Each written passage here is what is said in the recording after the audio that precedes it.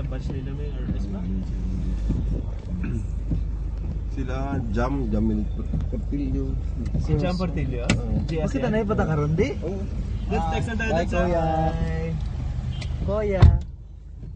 Good morning. Tama nakita ko ng agi nga ba.